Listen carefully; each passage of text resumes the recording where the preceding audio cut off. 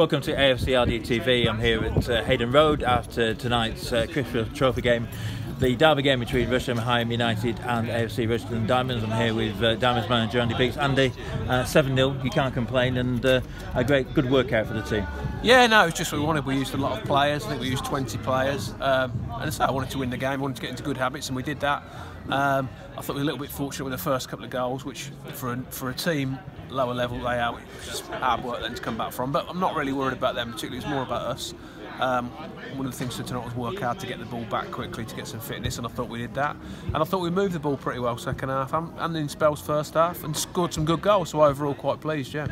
I mean, we don't. Uh, I suppose you don't want to name any of the players, but I thought the uh, the midfield players looked. Uh, you know, passing was good on the, on a good service for the start of the season. Yeah, the pitch was good. Yeah, they've done a good job on it. Um, yeah, we passed it well. To say a lot of the boys, as you say, trialists. They're, they're sort of trialists, but they're just people. Obviously, we're not giving names away, so I'm sure people will find out who they were if they wanted to. But they've trained with us for four sessions, and they deserve some minutes tonight. And yeah, I thought most have done really well. I was pleased, and um, like I said, give us some good problems to have, really, for me.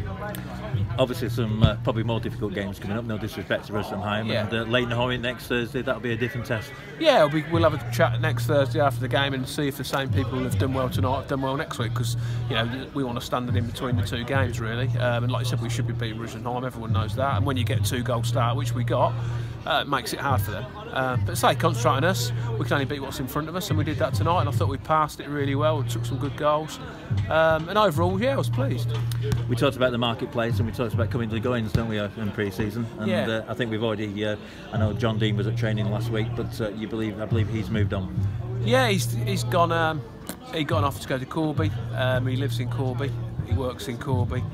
Um, and it, it was a no-brainer, really. Um, although he, he offers something a little bit different. He's, he was limited, op- you know, opportunities last year because he struggles with training. He doesn't drive, so he couldn't get there always on a Tuesday, Thursday. Relied on other people.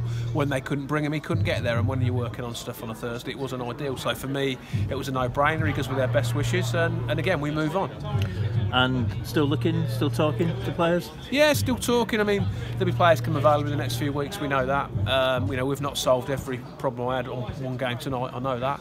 Um, what it showed tonight is we've still got a good base. We've still got loads of people who want to work really hard um, and put a good shift in for the football club, and that's what I need.